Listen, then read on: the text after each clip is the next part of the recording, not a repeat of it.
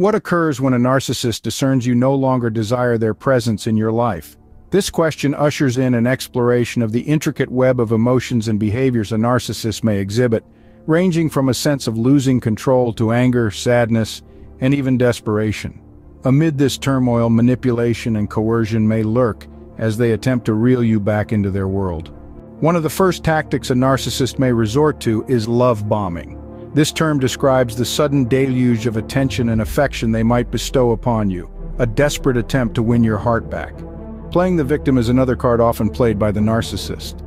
They may attempt to stir your sympathy, narrating tales of their anguish without you, and professing their transformation into a better person. Guilt is a powerful tool in the narcissist's arsenal. They may employ it to make you feel as if you're the perpetrator who brought the relationship to its end. Gaslighting is another tactic you might encounter. This involves the narcissist making you question your own memory or perception of events, leading you to doubt your decisions and feelings. A more dire reaction could be threats of self-harm or harm to others. This form of emotional blackmail is distressing and should be taken seriously. Stalking or harassment may also transpire. This is a clear form of abuse and should be reported.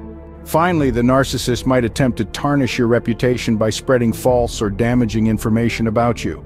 This is known as a smear campaign. If you find yourself in a situation where a narcissist is refusing to accept your decision to end the relationship, bear in mind that you are not alone. There are resources and support systems available to you. Dealing with a narcissist in denial requires certain strategies. Maintain your composure and do not engage with their emotional outbursts. Resist their manipulation and coercion. Set clear boundaries and adhere to them.